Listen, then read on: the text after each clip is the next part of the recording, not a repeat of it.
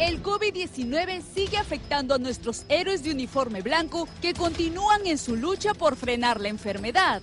Nosotros tenemos a la fecha 1.372 médicos en calidad que han dado positivo para la enfermedad. Tenemos 40 médicos en UCI y tenemos 45 médicos que han perdido la vida.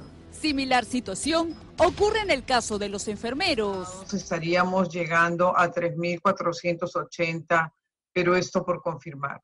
Tenemos 10 enfermeros fallecidos y aproximadamente 30 técnicos de enfermería fallecidos a nivel nacional. Para el decano del Colegio Médico del Perú, Miguel Palacios, la principal causa por la que estarían aumentando los contagios se debería a la carencia de equipos. Una causa definitivamente es la falta de equipo de protección personal, que tiene varias características. En primer lugar, que son de mala calidad a veces.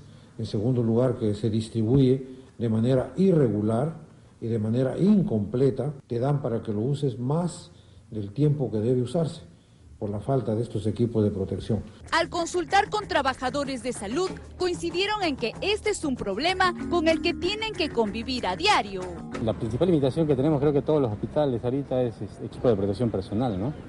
Nos están dando así limitados, creo que por ejemplo las mascarillas que nos dan, nos dan dos o tres para el mes. Así. Uno tiene familia también, ¿no? no uno no quiere exponerse a a tanto, ¿no? Otras de las deficiencias por las que estarían padeciendo nuestros doctores es el acondicionamiento del lugar en donde atienden. Las salas UCI tienen que tener un recambio de aire, que en una hora lo recambian el aire 12 veces o 15, dependiendo de la cantidad de pacientes que haya, y ese recambio de aire hace que las personas que están en ese recinto, médicos, enfermeras y técnicos, no estén respirando constantemente ese aire que tiene una alta carga viral. Pese a estas carencias, nuestros médicos no se rinden, tal como lo hicieron los que lograron vencer la enfermedad. Hemos perdido hermanos, colegas nuestros.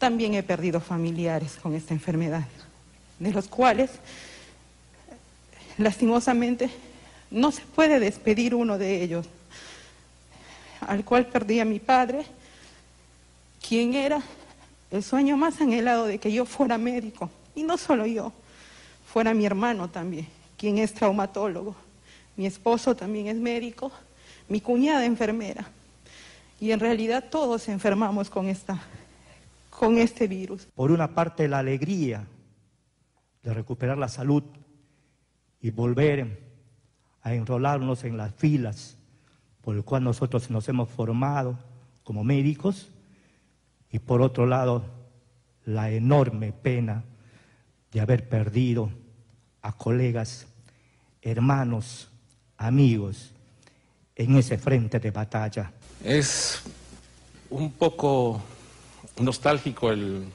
recordar a nuestros hermanos caídos en esta enfermedad potencialmente mortal, nueva para todos, con recursos limitados. Nuestros médicos solo esperan que las condiciones de trabajo puedan mejorar para continuar enfrentando al coronavirus.